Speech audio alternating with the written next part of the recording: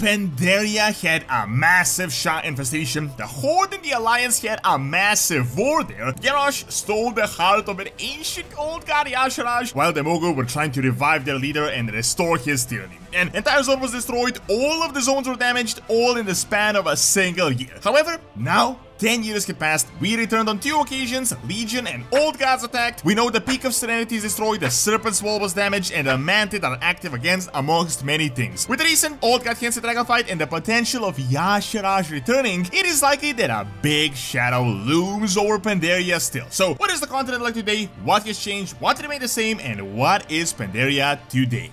So we have good and bad news. The bad news is that there isn't a book like Exploring Azeroth, Pandaria or anything of the sort that gives us a really concise and updated view with a lot of official information. The good news, however, is that we have gathered a bunch of info and hints over the years as Mists of Pandaria happened over 10 years ago and there have been hints just all over the place, from us returning to Pandaria on two separate occasions to short stories, mentions by NPCs, and also all the recent direct involvements. Now, most importantly, let us look at the timeline as in how long has actually passed since in Mists of Pandaria and the actual in-game lore as it is almost exactly the same as the actual real-world time, at least now with the recently introduced Dragonflight time skip. We got a 5-year fast forward since the Shadowlands and right now we are in the year 40 in World of Warcraft. Mists of Pandaria happened in year 30 and the ending of Mists of Pandaria, the trial of Garrosh, happened in year 31. So let's just say 10 plus years, 10 years have passed since the mist disappeared and the lands were opened and almost 10 years since that entire storyline ended. Naturally the obvious conclusion is that the conflict ended and that Pandaria as a continent is a much more peaceful place and a much more friendlier place than it was when we had visited it during the expansion. This isn't even just my speculation, we have actual confirmations of this from multiple sources. For example, the Sha were said to be almost completely gone, although that ended up not being true, they're still slightly present, but really no longer a threat. Think of it just like residue, like remnants of the Sha. Most importantly, the Horde and the Alliance are no longer fighting there, well, anywhere really at this point, but Pandaria is no longer a massive Horde Alliance battleground, which just by itself is a huge difference for the continent. We don't have official confirmations on this, but much like Northrend that mainly has a skeleton crew or Outland, I would wager the scenario is the exact same in Pandaria. The bases of operations remained in Pandaria of both the Alliance and the Horde, but I'd say they were majorly downscaled. Keep in mind, when we went to invade Pandaria, both factions sent their best units, their entire military, ships, machinery, planes, and pretty much everything we had at our disposal. Right now, those bases remain, but I'd say mainly just as outposts, as we have bigger things to deal with right now. Why would we keep the military in Pandaria? Now, in regards to the most important race, the actual Pandaren, the main guys on a continent called Pandaria, I'd say they're living a peaceful life, at least more peaceful than when we were there. It's very important to keep in mind that a bunch of Pandaren are actually independent, and while there are factions that join both the Horde and the Alliance, a lot of them just don't really care about all this stuff. Long ago, all the Pandaren were ruled by the Emperor under the Pandaren Empire, but then that rule shifted to local level, and then we had some of the Pandaren joining our factions, but the majority of those, especially those not living on islands but on the continent itself, are just not involved in all this politics, all this stuff whatsoever, they're just living their lives. Naturally, with peace, Pandaria has been confirmed to be more prosperous. We know traders go there, and there are very likely researchers and just all types of cultural exchanges. For example, we have learned that in BFA, Icelandic Pandaren tribes visit Pandaria and purchase supplies there. We can see in Hozen and the Jinyu merchants across the various regions. This also brings us to two very important races that joined both the Alliance and the Horde back in MoP and that are still a part of it. Unfortunately, there isn't all that much actual info about them. We know they're no longer in a massive conflict and that a lot of them are independent, but those that joined us have actually supported us on various occasions. We can see both the Jinyu and the Hozen supporting the faction conflict in BFA, so despite not being playable or allied races, at least a portion of them remain loyal to the Alliance and the Horde. Now, in terms of who are currently the big guys in Pandaria, there really aren't any rulers. The Horde and the Alliance presence isn't as dominant, so right now the Shado-Pan are really the most powerful force with a lot of political power, and of course the August Celestials are still very influential, but as far as we know in terms of actually ruling, a lot of it is still on the local level.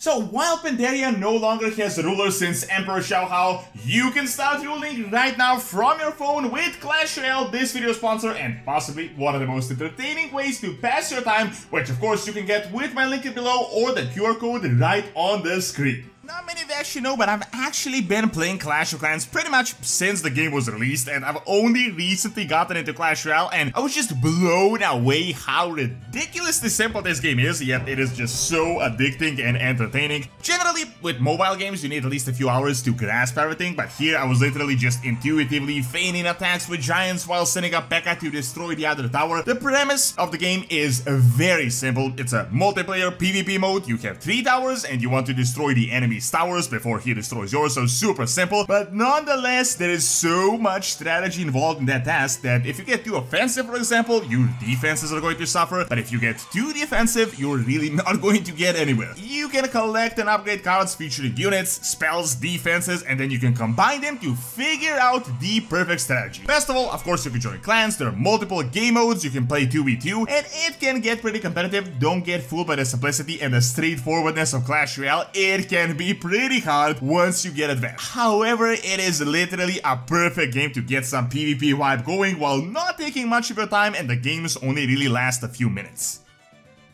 So it's never been a better time to start. Make sure to click my link below or just scan the QR code on the screen and start playing Clash Royale.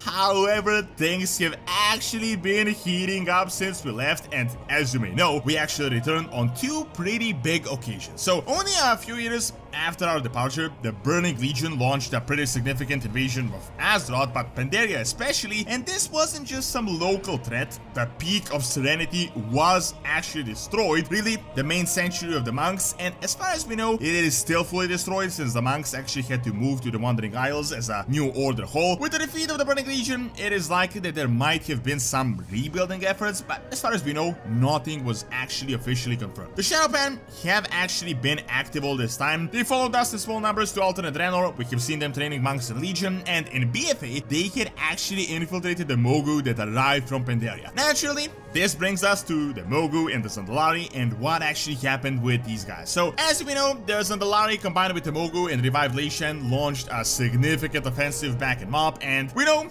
with 100% certainty that this failed and failed miserably. The Zandalari were completely wrecked and they lost a significant amount of resources, which really led to the events in BFA, and the Mogu were and still are in an even worse shape. They were significantly destroyed, split into groups, and really any chance of hegemony is all but a dream, if it is even a dream. However, MoP wasn't the end, as in BFA, Mogu wanted to get Azerite to restart their adventure, and that failed once again. Uh, Mogu tribe also attacked the Zandalari and supported the evil faction in the coup. They also managed to overtake the Kun-Lai summit for a short period of time, and there were some Necromancer Mogu that are still kind of mysterious up to this day. However, all of their plans were ultimately spoiled. Interestingly enough though, this was not the end. This leads us into the most important event and our major return to Pandaria. So, as you may know, N'Zoth was freed by the end of BFA and we had a significant amount of content in Pandaria. There was a big assault on the Vale of Eternal Blossoms and at this time, some of the Mogu actually fought on our side. They weren't the bad guys. As you may know, the Mogu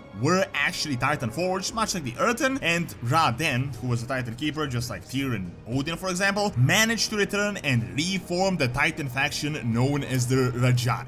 They launched a significant effort to stop the invasion of but it is really important to keep in mind that Ra didn't really believe we stood a chance, and he said even back then, when the Titans attacked the Black Empire thousands and thousands of years ago, it was a hard fight, but now when everyone is all over the place, it is nearly an impossible one. At the time, this seemed stupid because we just like laser beam N'Zoth and we won easily, but maybe he was right as N'Zoth possibly returns once again, but I'll get to that in a bit. So Ra sacrificed himself, entered Ny'alotha, ultimately was corrupted by the old gods, which meant we needed to put an end to him. So Pandaria no longer has a Titan Keeper Keeper and the Titan presence is just really gone over the entire continent. What is really interesting though is that the main enemies of this entire battle were the Mantid and I feel like they're going to be relevant in the very near future. So as we know, they are actually old god minions. They would be like the Black Empire civilization, but they were sort of half neutral back in MoP. Apparently, when Y'Shaarj was ripped out, his heart fell out in Pandaria that we had seen Garrosh get used, and his essence created the Sha. The Sha had a really minor presence since MoP. However, the Mantid are ultimately blindly loyal to the old gods, and whenever they return, these guys just follow them. That is exactly what happened when Garrosh took the heart of Y'Shaarj, and now, when N'Zoth returned, of course, the exact same thing happened, they just followed. Back in MoP, their Empress Shek'zeer was defeated as she was overtaken by the Sha of Fear, and a very similarly named new Empress was elected, Shek'zara, which you could very easily mistake for Shek'zeer, who we managed to defeat in this entire new attack, and we know she had been ruling the Mantid for a few years. Now, since then, the old gods were temporarily driven away, and this entire thing subsided. As far as we know, most of the Vale of Eternal Blossoms was restored, and since at least 5 or 6 years had passed at this point with the time skip, it should look better if not just brand new with a few scars. However, the Mantid are still a major threat. They are sort of culled, but they no doubt remain. For example, in BFA, we know that a massive wall, the uh, Serpent Spine, was damaged and a part was overtaken by Old God forces. We don't have official confirmation, but I'm guessing this has obviously been repaired as a hole in this wall is like having a hole in a dam. It is only a matter of time before it bursts, so that must have really been a priority to fix this wall. However, what I think is very interesting is that recently in Dragonflight we got a new N'Zoth hint and it is very likely that this guy is still active and alive. Even more interestingly, there are also hints of other parts of Y'Shaarj possibly existing. I mean, just think about it. He was ripped out somewhere around the middle of Azeroth where the Well of Eternity was. His remains fell in Pandaria. Heart was also found there, which was then kept as a secret by the Titan Keepers. However, how is that remains only fell in Pandaria? It is very likely that other parts exist somewhere that we don't yet know about. There are heavy hints that the old gods are returning, and for Pandaria, you know what that actually means the Mantid awaken. If we get a new Black Empire situation, you can bet that the Mantid are going to pose a significant threat to the safety of the entirety of Pandaria, and if they actually get old god powers, I really don't think the Serpent's spine is going to hold. We could also possibly find Mantid searching for other parts of Y'Shaarj that may be hidden so they can empower themselves. Now, other than all this old talk, we have a few more hints that we had gathered over the years. For example, with the recent time skip in Dragonflight, it was confirmed that Li Li has aged and she will be relevant in the current expansion. More than likely, which means that we will learn a bit more about the continent itself in Shen. Furthermore, the Timeless Isles could also be a thing that is important with all the recent talk about the Bronze Dragon fight, Nosdormu, Murozond, and also all those Pandaria Serpent Dragons could also be a thing because we don't really know their lore yet. We recently learned about the Dragon Isles, how the dragons were created. Maybe there will be some sort of a storyline. The Valley of Four Winds has likely had a cultural boom with a lot of gastro enthusiasts visiting from all over Azeroth with the Stormstout Brewery. It is very likely the center as well and a pretty important attraction in the entirety of Pandaria. Furthermore, with the defeat of Lei Shen, the Isle of Thunder is calm, but let's not kid ourselves, it is still without a doubt a really dangerous place. With all those dinosaurs and monsters all over the place, it is likely many researchers are now there scouring it and that it is safer since there is no invasion force, but it is definitely not a place you would want to inhabit. Furthermore, we can see Pandaria in an island expedition in BFA, the so-called Snow Blossom Village, and there were actually Mogu and the Mantid over there, so it wasn't exactly a safe place. While both of these forces were weakened, they no doubt still So all in all, Pandaria has been largely rebuilt. It took quite a bit of damage since MoP from both the Legion and the Old God forces, but with the recent build-up of the Black Empire storyline, a return to Pandaria actually does seem likely, and we could totally see a lot of those old storylines being picked up once again. Thank you for watching. Check out what's the actual origin of actor by clicking on the screen and check out Academy for videos on real world history. See you next time.